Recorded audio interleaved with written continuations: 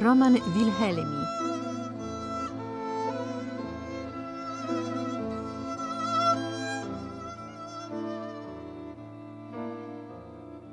Witam pana. Szanowanie, paniusiu. Wezmę to. E, Pielęgniarz Williams mówił mi, że są z panem kłopoty. Ze mną? Tak, podobno odmówił pan wzięcia prysznic. A, tak, co to, to prawda. To dali mi już prysznic i w więzieniu i w sodzie. Założę się, że z rozpędu wymyliby mi także uszy, gdyby mieli czym. A to bardzo zabawne, proszę pana, ale musi pan zrozumieć, że nasz system ma na celu pańskie leczenie, a to wymaga współpracy. Paniusiu, to ja będę współpracował jak jasna cholera. Ale chyba pani nie chce, żebym był nieuprzejmy, przecież musiałem się zapoznać z moimi nowymi kolegami. A proszę mnie dobrze zrozumieć, ja w pełni doceniam to, że pan postanowił poznać innych pacjentów, ale wszystko w swoim czasie. Musi pan stosować się do przepisów. Co za ludzie, że też muszą mi mówić o przepisach akurat wtedy, kiedy mam ochotę złamać je co do jednego. Znam pana, panie Romku, od lat. Widziałam pana w różnych rolach i dramatycznych, i komediowych. I w tej chwili tak się właściwie zastanawiam, jaki pan jest naprawdę. Ja jestem w ogóle bliźniak, wie pani, mam dwoistość natury. Potrafię być bardzo spokojny i bardzo szybko nerwowy, także A w tej u chwili, mnie to się zmienia. a w tej chwili jaki, w jakim Nie, pan w tej chwili tak patrzę na panią i myślę sobie, że fatalnie pani wybrała. że- I właściwie no, podjęła się pani takiego dosyć trudnego zadania, ponieważ ja autentycznie nienawidzę tak zwanych wywiadów. Po prostu nie umiem i nie lubię mówić o sobie, bo raz, że uważam, że to, co miałbym do powiedzenia, to nigdy nie powiem, czyli już jestem nieuczciwy. A dwa, że często słuchając wypowiedzi różnych ludzi, czy tam czytając wypowiedzi, to tak jakoś mnie to wszystko raz, jeszcze raz utwierdza, że to jest bez sensu. Im bardziej w lata idę, tym bardziej jestem niespokojny o to, co robię. Mniej pewny siebie po prostu. Dlatego, że to, co kiedyś, wie pani, podejmowałem się właściwie zadań różnych bez zastanowienia. W tej chwili przychodzi mi bardzo trudno. Nie, żebym się bał, wie pani, ale po prostu im bardziej w te Lata posuwam się, te tak? lata się posuwam, im bardziej, im więcej tych ról się nagrałem, tym bardziej czuję taką jakąś dziwną odpowiedzialność tego, co się po sobie ewentualnie zostawi. Ale to też nie jest jakieś tam, że ja specjalny ołtarzyk temu zawodowi stawiam, to jest nieprawda. Uważam, że to jest w ogóle nieprawda.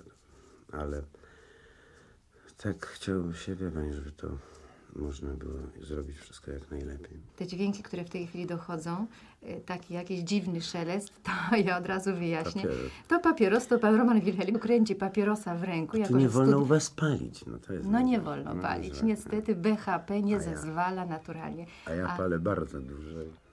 Czy pan w ogóle jest człowiekiem nerwowym? Można tak to określić, ner- nerwowo. Znaczy, buntuje się mój cały organizm przeciwko mówieniu o sobie. Ale, Ale zdając sobie Romanie, sprawę no, oczywiście z tego, o. że będąc y, powiedzmy Aktorem. jednostką taką pracującą na wynos i dla Oczywiście, dla się własnością w jakiś no tak, sposób no, publiczną, Gdzieś tak, tak, to nie jest ponieważ panią wywiad. szalenie lubię i panią od lat w ogóle znam, sobie tak pomyślałem, że właściwie spróbujemy. Już wolę to zrobić z panią, zgrzeszyć, niż z kim innym. Dziękuję, wobec tego popełniajmy dalej ten grzech.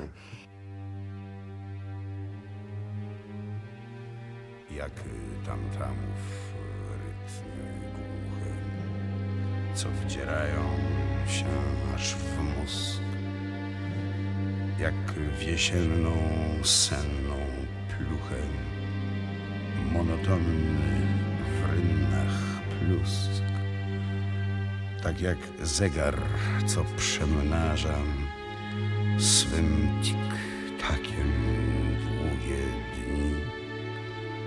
taki tętno mojej krwi powtarza ty, ty, ty. Panie Romanie, zaczęliśmy naszą rozmowę od tego, że im, prawda, jest pan starszy, tym więcej wątpliwości. Ile pan ma lat? Ja mam... Możemy powiedzieć? Tak, rzeczywiście, ja mam 42 lata. Skończyłem w zeszłym roku.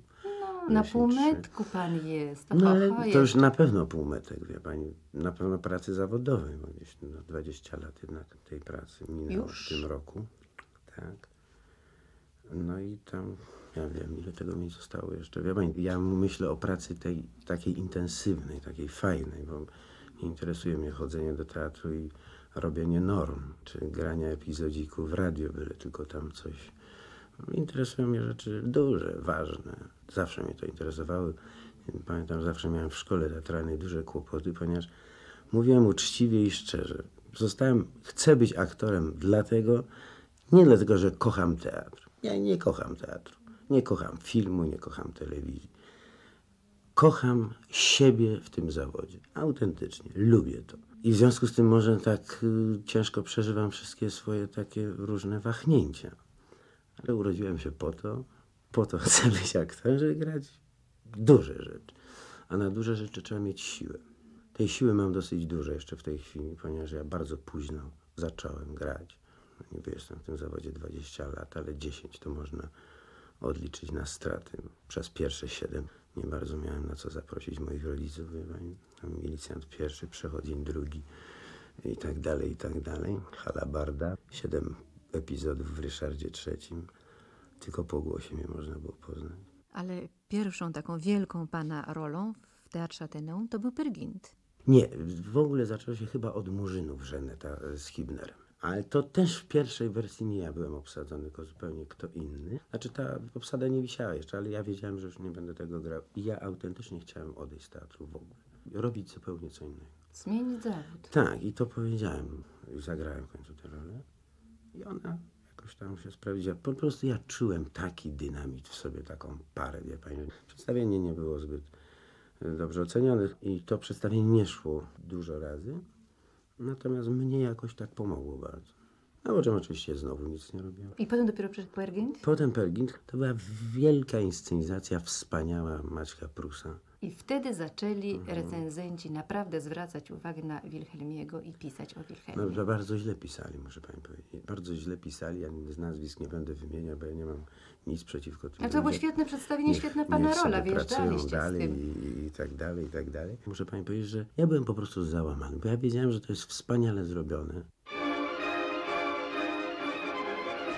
Matko, czy widziałaś grzbiet gędynu? Owe dzikie skalne bryły, ostre niby sierpy żniwne. Ich surowa, naga ściana, na tysiące stóp wysoka, spada prosto do jeziora. W górze śniegi i lodowce, niżej skały i urwiska zamykają jak pierścieniem czarną, straszną taflę wód, co w tajemnym śnie spoczywa jak zwierciadło czarodziejskie. Gdybyś mogła to zobaczyć, przejąłby cię lęk i zgroza. Pędziliśmy strzały lotem, śród powietrza aromatów, w dół i w górę, nad przepaścią zawieszeni. Nigdy w życiu nie jeździłem na rumaku tak ognistym. Przed oczami jakby tysiąc słońc świeciło, sypiąc iskier diamentami, a pode mną orle skrzydła mknęły i znikały w dali. Na jeziora ciemnych falach lód łomotał, bił o brzegi i choć oko to widziało, chór złowrogi wód szumiących milkł w przestrzeni. Tylko w uszach brzmiał i dźwięczał dziki śpiew. Czy z tamtego okresu ma pan jakieś recenzje? Nie mam nic właściwie, gdyby nie moja matka, która w Poznaniu to wszystko zbiera skrupulatnie i powiedziała, że mi kiedyś to wszystko da, to ja bym właściwie nic nie miał. I dobrze, pani, przeszłość mnie nie interesuje. To, to, co było, jest nieważne. Ja- Mnie interesuje to, co jest przede mną. Co mam zacząć? Przeszłość mnie właściwie nie interesuje. No ale przecież nie powie pan, że te złe recenzje pana nie bolały. Oczywiście, wie pani, to jest śmieszne, no Holender jednak tak jest, że żeby nie wiem jak człowiek tam sobie powiedział, a co mnie tam recenzje, ja nie czytam. Wie pani, to się tak mówi. Każdy gdzieś tam, nawet jeżeli nieoficjalnie, to tak sobie gdzieś pokątnie na tą gazetę spojrzy. Ja nigdy nie byłem aktorem łatwym, wie pani. Nigdy mnie recenzenci i do tej pory specjalnie nie lubią. Coś mam kontrowersyjnego w sobie. Coś, wie pani, niegładkiego. Nie to, co się podoba, bo podoba się coś ładnego, gładkiego, wie pani. Najlepiej, żeby miał blond włosy i jasne oczy. No to już jest naprawdę w porządku. I ja zawsze byłem trudny w odbiorze. Zawsze gdzieś tam trochę spocony, trochę dziki. To się nie podoba. Podoba się to, co jest albo bardzo tak pseudointelektualne, wie co to tak się napłuczysz i tak coś elegancko powiem, tak podmiotorzenie, tu zawiesić głos i potem o, i jeszcze jak masz niski głos, to tak zjechać i oni wtedy siedzą i mówią, oho, to dobre jest. Natomiast jesteś taki no, Chropowaty. chropowaty, to nie. W tej chwili już musieli się przyzwyczaić, no bo trudno jest nie zauważać człowieka, który coś robi, no i mam masę potknięć i masę ról na straty, ale jednak przeważająca część jest ich dobra, no tutaj nie ma co się fałszywie poniżać. No, dlaczego? I nie bardzo wiedzą, co ze mną zrobić, ale to nie jest moje takie zmartwienie znowu. Natomiast naprawdę wtedy, bo teraz oni mi są niepotrzebni, bo teraz to mogą pisać, że w ogóle jestem do niczego. Ja już lecę, wszedłem na orbitę. Natomiast wtedy byli mi bardzo potrzebni. I mnie wtedy dyrektor, mój obecny też, wziął do siebie i powiedział, Roman, jak wszedłeś, bracie, w wielkie role, to szykuj się na duże baty. Czy uważa pan, że zawód aktora to poważny zawód? Ten zawód, no jak najbardziej. No ale przecież każdego wieczora gra pan inną postać. Raz komediową, tak nie raz dramatyczną. No właściwie nigdy nie jest pan sobą. Jak to nie jest sobą? We wszystkim jest sobą. Tylko może się tam bardziej odnajduje takie jakieś u siebie rzeczy, których by nigdy nie odnalazł, gdyby nie był aktorem. Każdy z nas jest aktorem w ogóle. Ludzie są aktorami. Pani popatrzy, jak ludzie się zachowują w sklepach, na ulicy. Ale aktorstwo może pomaga po prostu wydobyć na wierzch te rzeczy, których po prostu człowiek nie wydobywa, bo nie ma potrzeby. W aktorstwie jest to potrzebne.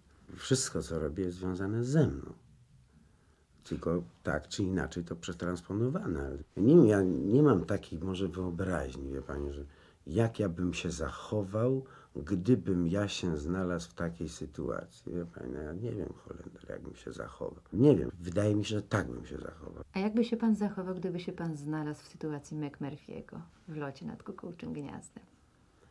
Gdybym się znalazł w jego sytuacji. Tak. No chyba tak jak on, zresztą to jest wspaniale napisane, wie pani, to jest tak napisane sugestywnie, że jestem pewny, że tak samo.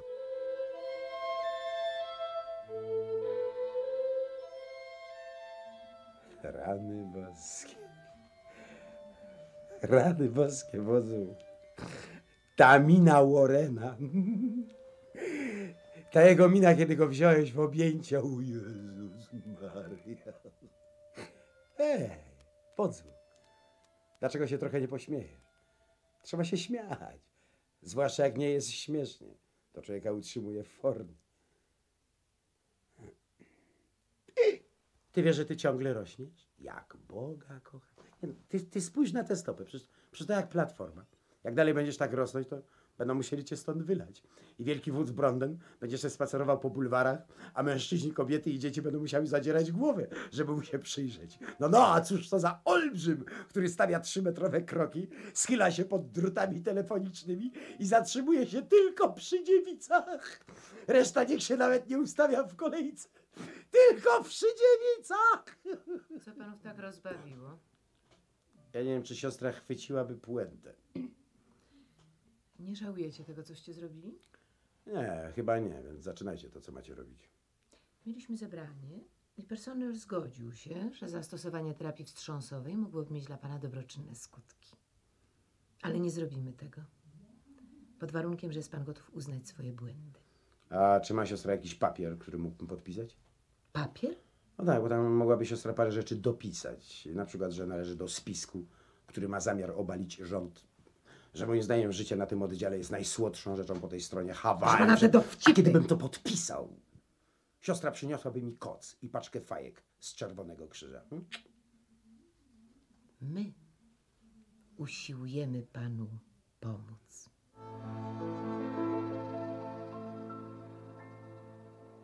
Jakaś rola, a ta rola jest ogromną rolą, określa w ogóle aktora. I myślę, że między innymi rola McMurphy'ego y, szalenie określa Romka. Ja bym tak powiedziała, Romek jest y, tego typu aktorem, który kocha życie. To jest taka jego cecha podstawowa, że kiedy się Romka rano spotyka przed próbą, to Romek jest właściwie zadowolony, że wstał, zadowolony, że widzi kolegów, zawsze uśmiechnięty, miły i sympatyczny. to jest bardzo cenne w pracy. Dlatego, że ja, jak pani widzi, zresztą wspominając samo nazwisko Romka i imię, natychmiast się uśmiecham, bo taką mam reakcję na to imię. Więc jest to człowiek, który po prostu jest dosyć bezkonfliktowy. Poza tym ja go znam przecież z okresu jego pracy jeszcze w Ateneum, od samych jego początków. Zawsze był bardzo dobrym kolegą, szalenie wychodzącym naprzeciw partnera. Także muszę powiedzieć, że jest to bardzo dobry partner. Ale ta cecha podstawowa, to znaczy ta jakaś radość życia, którą Romek z sobą niesie i ta jego pasja przeżycia wszystkiego, e, znajduje jakiś y, oddźwięk w rolach, które on gra. I myślę, że taki jest McMurphy. McMurphy się po prostu w wykonaniu Romka cieszy życiem, cieszy ludźmi i taki ma stosunek do ludzi. I myślę, że po prostu Romka aktorstwo w ogóle cechuje namiętność. Ja pamiętam, że ile razy y, Romek dostaje nową rolę, to on się tak cieszy tą nową rolą, właściwie jak dziecko nową zabawką. No, to znaczy, to, to jest tak troszkę pomniejszające, prawda, mówiąc o, o, o zabawce, ale jest coś z tego, że on jest taki jakby zachłanny, ale w tym dobrym sensie tego słowa, zachłanny na granie, na życie po prostu na scenie. I Romek nigdy nie zostaje obojętny wobec ról, które grywa. Bo przecież właśnie, jak mówię, znam go wiele lat i ile razy się go spotka, czy y, w telewizji, czy w teatrze, to Romek bardzo gorąco mówi na temat aktualnej roli, nad którą pracuje. To jest bardzo cenna rzecz, dlatego że świadczy o tym, że ten aktor traktuje ten zawód szalenie spontanicznie, namiętnie, czegoś od siebie wymaga, do czegoś dąży. No, myślę, że w tym również leżą pewne błędy e, Romka, bo jego zachłanność, jego tempo, które on ma w sobie, czasami się niekorzystnie odbija na e, jego pracy. On jakby nie miał czasu wykończyć pewnych rzeczy, które proponuje. Jego satysfakcjonuje pewna propozycja, która jest trafiona i nie bardzo już lubi tą taką robotę polegającą na czyszczeniu, doczyszczeniu roli, żeby ona nie miała pewnych brudów. To, co powiedzmy jest takim ostatnim jakimś szlifem. Jakby Romka to nie interesowało. Można się z tym zgodzić, można się nie zgodzić. Ja mówię tu bardzo z mojego osobistego punktu widzenia. Ja po prostu, jak pani wie, jestem aktorką, która szalenie lubi precyzję, więc w związku z tym mnie czasami drażni, że on sam sobie pewne rzeczy brudzi, bo on potrafi zagrać świetnie, a następnego dnia chce zagrać jeszcze lepiej i w związku z tym jest trochę gorzej. Czy ta pasja życia, ta zachłanność cechuje również y, pana Romana w innych sprawach, nie tylko w pracy zawodowej. Również jest takie zachłanny na wszystko, na to jak jedzie samochodem, jak sobie coś kupuje, jak urządza mieszkanie. No ona, ja jak go- kocham, to kocham. O. No, ja go tak dalece nie znam, prawda? Ja go znam, no wprawdzie wiele lat, no ale tak na bazie koleżeńskiej. Ja odnoszę wrażenie, że coś takiego w nim jest. To znaczy, że, że jak się opala, to się opala, jak pływa, to pływa, jak pije, to pije, jak się bawi, to się bawi. Wie pani, wszystko robi jakoś tak ostatecznie. No ale ja myślę, że to jest wspaniałe. To jest wspaniałe, bo wtedy właściwie człowiek ma szansę przeżycia życia naprawdę. Panie Romku, w pierwszych przedstawieniach rolę McMurphy'ego grał y, Wojciech Przoniak. Czy w momencie, kiedy dyrektor Hibner z Teatru Powszechnego zaproponował panu objęcie tej roli, po nim, po Przoniaku, nie wahał się pan? Nie, nie, ja to zobaczyłem tak. i powiedziałem, ja to muszę oczywiście zrobić. Ja, wie pan, ja miałem w ogóle trzy próby do tego, bo tam nikt nie miał już czasu w tym teatrze. Tylko ja się zamknąłem niedaleko Warszawy na, na trzy tygodnie, rzeczywiście bez telefonu, bez niczego, magnetofon, nagrania z Hibnerem, co on chce, żebym ja przez to rolę zrobił. Druga taśma z tekstem. I ja za trzy tygodnie przyjechałem gotowy. Przecież wie pani, największą sensacją w ogóle u nas było to, znaczy w tym tak zwanym środowisku, a i nie tylko. Kto był lepszy, Przoniak czy ja w kukułczym gnieździe? Wie pani co, ja, ja patrzę na tych ludzi i, i mnie się wierzyć nie chce. Na całym świecie aktorzy się wymieniają. Mnie nawet jedna reżyserka w dubbingu spytała, dosłownie, czy nie będziesz miał nic przeciwko temu, że ja Wojtka zaproszę? Ja wiem dlaczego. No bo wiesz, bo nie wiem jak wy jesteście. Gdyby nie to, że ja już nagrałem część tej roli, ja bym odszedł od tego pulpitu, bo jest coś nieprawdopodobnego, Oczywiście pierwszą rzecz, jaką wykonaliśmy, to wykonaliśmy telefony do siebie, kiedy on odchodził od tej roli, a ja w nią wchodziłem. Ponieważ dyrektorzy się zmieniają, reżyserzy się zmieniają, a my się będziemy spotykać. I rozumie pani, to, że ja gram po nim tak wspaniałą rolę, której nie można odmówić, wie pani, bo to jest, się zdarza raz na całe życie, bo to Hamlet, to wszystko to są może i dobre role, ale to nie to. I ja oczywiście bez wahnięcia podjąłem się tego, ale nie pomyślałem nigdy w życiu, czy ja będę lepszy, czy gorszy, wie pewno pani. pan To mi w ogóle nie wpadło do głowy. Wiedziałem, że jest to rola jak dla mnie napisana. No to dlaczego mam tego nie robić? I potem te pytania, to, to było coś tak nieprawdopodobnego, mnie to tak zaskoczyło w ogóle. Trwa to zresztą do dzisiaj. McMurphy na pewno nie jest postacią kryształową. No bo i oszust, kłamca, złodziej, a jednak jest bardzo ludzki i budzi sympatię widza. Ja w ogóle szukam cech ludzkich. W ogóle. Przede wszystkim może dlatego, że gram właściwie samych negatywnych. A właściwie bardzo szybko się wzruszam. Wie pani, mam w ogóle bardzo szaloną łatwość do wzruszania się. Jestem gdzieś tam w sumie dobrym człowiekiem. Nie potrafię być długo zły na kogoś. Nie potrafię być mściwy. Czasami sobie mówię, kurczę, ja, ja mu kiedyś tak dołożę, że ja zapominam, wie pani, za dwa, trzy dni mnie to się zapomina. Ale wracając pani, jeszcze... przepraszam, ja zapalę, no tu Dobrze. mam talerzyk, dobrze, No przepraszam. no i- Wolałbym być konsekwentniejszy, ale taki już mam charakter. Nie potrafię Holender dłużej się Gniewać. gniewać. Trzymać. Może dlatego, wie pani, że mnie to życie tak szybko leci jakoś, ja tak nie wiem kiedy to minęło w ogóle wszystko, wie pani. Strasznie szybko mi to leci. Po prostu dlatego, że ma pan Może. czas wypełniony. Rzeczywiście Może- pracuje może pan dlatego. bardzo dużo. Nie zastanawiał się pan nad tym, że pracuje pan za dużo? To też jest pani, niebezpieczne. To jest dobre, ja ale miałem niebezpieczne. taki moment, miałem taki moment, że o mały włos nie zrezygnowałbym z jednej rzeczy, którą jednak chyba podejmę, wie pani. Zagram Nikodema Dyzmy w takim serialu telewizyjnym, zdając sobie sprawę z całego niebezpieczeństwa, jakie sobą niesie serial, z wszystkich potyczek, jakie ja widziałem i przegranych, jakie widziałem i potem konsekwencji wygranych nawet seriali przez aktorów.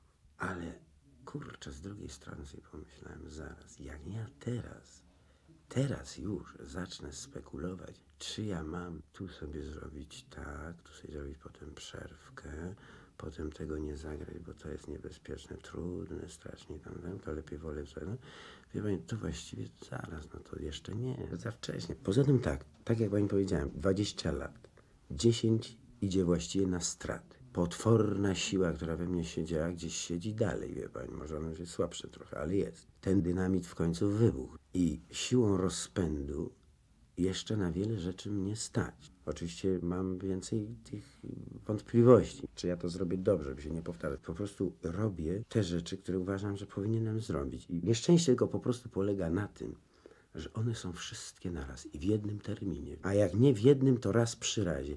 No nie mogę nie zagrać proktora w Czarownicach z Salem, prawda? No ale nie moją winą jest, że jednocześnie gram, prawda, lot i gram Pannę Julię, którą bardzo lubię grać w Prochowni, ale to się gra w noc. Nie mogę nie zagrać w Wyspie Fugarta, w takiej dwuosobowej sztuce, wspaniałą, rzeczywiście genialnie napisaną rolę. No ale... Tak, ale to się, wie pani, wiąże z czym? Rano próby z tej wspaniałej, genialnej roli, ale wymagającej potwornej pracy. Po południu próby z wspaniałej roli w Czarownicach z Salem i wieczorem wspaniała rola w losie nad kukułczym gniazdem. No a jak się tak zdarzy, że jeszcze trzeba zagrać Pannę Julię?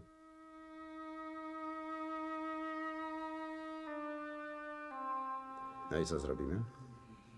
Wyjedziemy, Żeby się zadręczyć. żeby żyć, żeby żyć, nie wiem, dzień, dwa dni, jak długo się da, a potem... A ja potem umrzeć.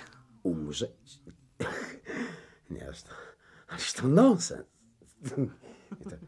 To, to już lepiej założyć hotel.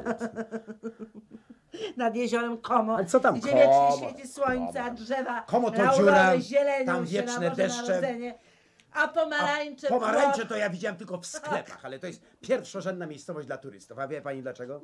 Dlatego, że jest tam mnóstwo willi, które wynajmuje się zakochanym parom. A to jest bardzo intratny proceder. A wie pani dlaczego?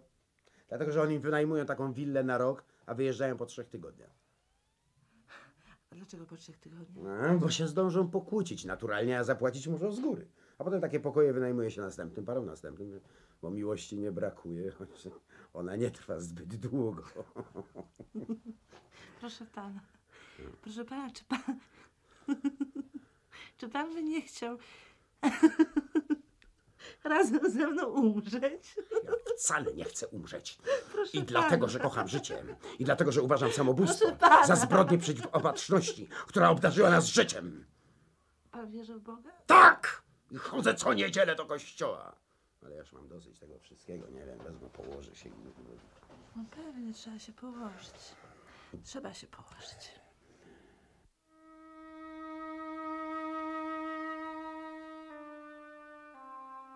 Pamiętam, kiedy powstał pomysł robienia Julii. Rozmawiałam z profesorem Korzeniewskim i właściwie dla mnie Romek Wilhelmi od początku jakby wydawało mi się do tej roli jest stworzony. Że jego, powiedziałabym, biologia, jego witalność, że znajdą się punkty styczne. To wcale nie znaczy, że Romek nie może zagrać roli, która nie jest z nim styczna. Ale po prostu od początku to przychodziło do głowy, że te wspaniałe monologi tej postaci, która opowiada właśnie o tym pięciu się i właśnie ta pasja, że to będą te punkty, z których będzie można wyjść. Ale ja chcę powiedzieć o czymś jeszcze innym poza sprawą artystyczną. Jak pani wie, w naszym świecie każdy z nas ma taką, a nie inną opinię i Romek ma przecież już taką rangę. Natomiast dla mnie największą radością było to, że Romek był szalenie precyzyjny w pracy. Romek ma coś i z dziecka. Romek jak się cieszy, to się cieszy bardzo. Lubię Romka słuchać, jak przychodzi do garderoby, jak ma dobry dzień, jak sobie tam opowiada. Poza tą jego witalnością, biologią i naturą trochę dziecka, umie dokładnie zobaczyć. Każda propozycja, którą Romek w tej chwili przecież dostaje, wiem jak, jak go bardzo dużo kosztuje robić, nie robić, brać, nie brać, ważne, nieważne. On już od siebie dużo chce, poznał swoją siłę przede wszystkim. I znowu, on nie ma tej takiej stuprocentowej pewności co do siebie. Takiej, chciałabym powiedzieć, chudzby. Pamiętam rozmowy nasze przed y, Kukułczym Gniazdem, zanim zagrał tą rolę. Pamiętam, ile miał obaw, niepewności. A dlaczego zaczęłam od tego, że cieszę się? Bo Romek chyba lubi tą Julię. Bywamy często zmęczeni. To po Julii wychodzi chyba bardziej odpoczęty. No tak, panie Romku, na brak zajęć to pan nie może narzekać. Czy jednak nie za dużo?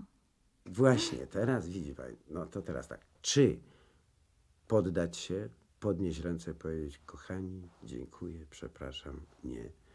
No nie mogę tego zrobić, bo wszystkie tam są dobre rzeczy. No, no i nie, nie będę się zastanawiał, czy ja umrę na zawał serca za rok, czy za dwa, czy za dziesięć. Są tacy podobno, którzy nic nie robią i też umierają na zawał serca. Wie pani, po prostu w tej chwili, przy tym doświadczeniu, które mam i jeszcze tych siłach, które tam we mnie drzemią, no właściwie nie widzę powodu, żebym miał się tak szybko skończyć. A życie prywatne? Tu jest słabiej troszeczkę, pani. Tu jest troszeczkę słabiej, ale zostawmy to. Ja wyjeżdżam przeważnie z dzieckiem na wakacje gdzieś do Bułgarii. To tak mi się udało trzy lata pod rząd i było nam fajnie bardzo.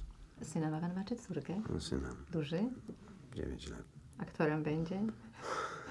Na razie, na razie chodzi do szkoły muzycznej, gra na wiolonczeli. Mój dyrektor już go zaangażował. Powiedziałem, Aha, Rafał, rozumiem. Rafał, szybko rośnij, amant mi jest potrzebny, tatuś niestety już się nie nadaje. Tatuś już wypadł z obiegu jako amant. Tatuś już na amanta, nie rośnij, synuj szybko. Ja pana tak niedawno jeszcze widziałam w spektaklu Niech no tylko zakwitną jabłonie. Był pan naprawdę bardzo młodym aktorem. Jezus, jak ja tego przedstawienia nienawidziłem. O, dlaczego? Jakie to bardzo A sympatyczne to było coś tak strasznego dla mnie. Znaczy, był tam fragment, który lubiłem. To był taki fragmencik takiej powieści brukowej, pamięta pani? To lubiłem, bo to było zamknięta jakaś całość. Natomiast jak przypomnę sobie, jak te 500 razy wychodziłem w takim kapeluszu i, i ta orkiestra grała, ja tak mpa, mpa, mpa, mpa, mpa. Wie pani, że gdybym miał pistolet, ja bym się zastrzelił. I to uczucie przez 500 przedstawień mi towarzyszyło. Po czym sobie zrobiłem rewie, wie pani, ale to tylko po prostu dlatego, po latach trzy lata temu z Igą. Żeśmy Mhm, w telewizji pamiętam. ale zrobiłem sobie taką rewię po prostu dlatego, że ja raz w życiu musiałem zejść po długich białych schodach. Dlatego może, że widziałem lodę halamę, jak schodziłem. Czyli po długich białych schodach pan schodził, Raz ma pan na, I za chciałem sobą. mieć kobiety z piórkami, wie pani, żeby to mi się wszystko tam ruszało fajnie, żeby było. I to mam za sobą nylonowe białe zęby. Hollywood. Dzień i noc sobą przesłania świat. Tobą zorza mignieje, tobą śmieje się każdy kwiat. Co dzień czekam, dzień za dniem, by ci wyznać jednym tchem, że chcę wierną ci być jak cień. W noc i w dzień.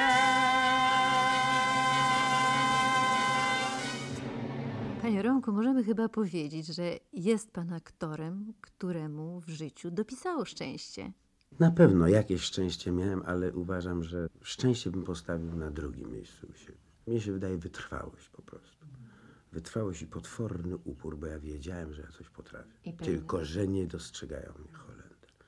Ale mówię sobie, kiedyś ja wam pokażę. To szczęście to ja bym na drugim, albo nawet na trzecim miejscu postawił. Ja szczęścia nie miałem.